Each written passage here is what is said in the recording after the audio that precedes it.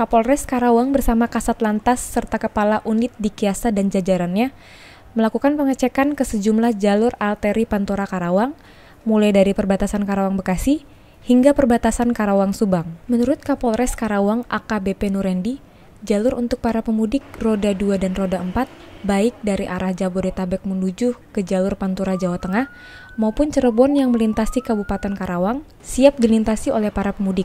Namun, ada sejumlah ruas jalan yang masih dalam kondisi rusak dan masih minimnya lampu penerangan jalan umum atau PJU.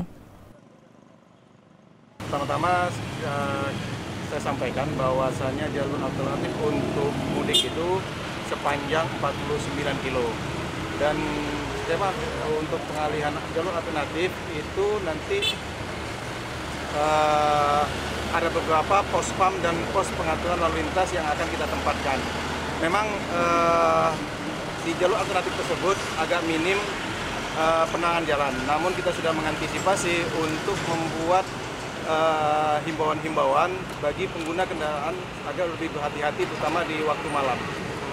Oke. Uh, pantauan kita tadi pada umumnya dalam keadaan baik.